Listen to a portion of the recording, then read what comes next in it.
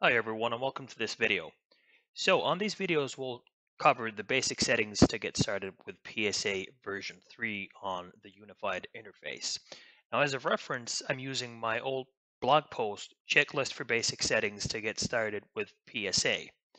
Some of the configurations and settings have to be done both on the classic web client as well as on the unified interface.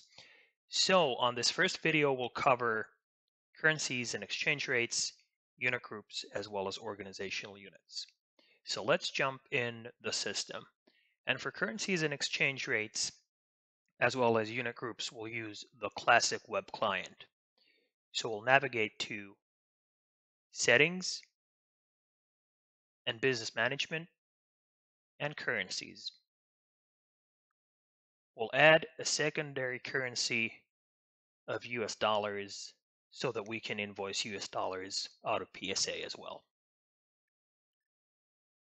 So let's check the, let's click on the lookup. Choose United States and US dollars. We can leave the currency precision at 2. We have the correct symbol. And 1 euro is, for the sake of example, it's about 1.3 US dollars. We'll save and close. And we have a secondary currency set. So the euro is our base currency, and that was already set when we provisioned this instance. All right, so next thing is unit groups. So under settings and product catalog, we have unit groups. Now this is a vanilla instance and we already have PSA and field service, PSA version 3 and field service version 8 installed on this instance. So with those, we have the time unit group already set up. Now, from a PSA perspective, the time unit group is pretty much the only thing that we'll see, we'll, we'll need. So there is not much to do for this unit group. So let's just see that everything is as it should. Let's go to related records and click on units. We can see that we have an hour already set up. So the name is hour, quantity is one. So everything from a unit group perspective is all already set up at this point. Now, if we were using field service, then we might want to set up pieces, pallets, boxes, etc. All right, so two of the three settings have already been set up. So we have currencies and exchange rates and unit groups. The next thing we'll set up is organizational units. And for that, we'll use the unified interface. So here on the left, it says sitemap. We'll click on that.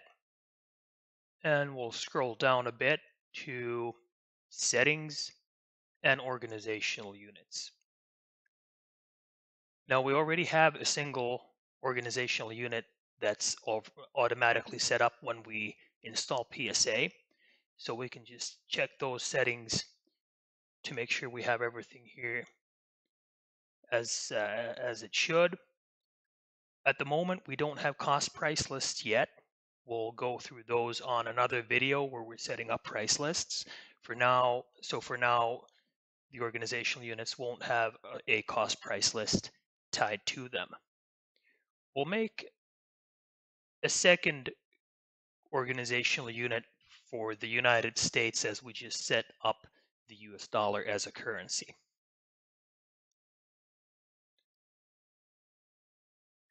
So we'll name this United States.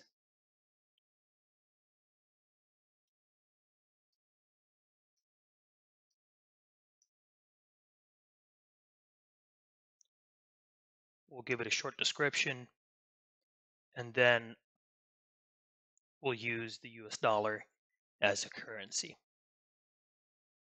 So everything's set up so we can click on save either here on the footer or on the ribbon. And the new organizational unit is now set up. Now, note that the currency field does get locked when you save the record, so be sure to, ch- to choose the correct currency for the organizational unit that you're uh, that you're creating. If this would be incorrect, I would have to delete this organizational unit and set it up again. Now, again, for cost price lists, we don't have any price lists set up yet, so we'll leave this uh, we'll leave this blank and we'll come back to the cost price lists on on a later video. All right, so in short, that was the the first three settings that we have covered. On the next video, we'll cover transaction categories, expense categories, fiscal year settings, as well as product catalog items. Thanks for watching.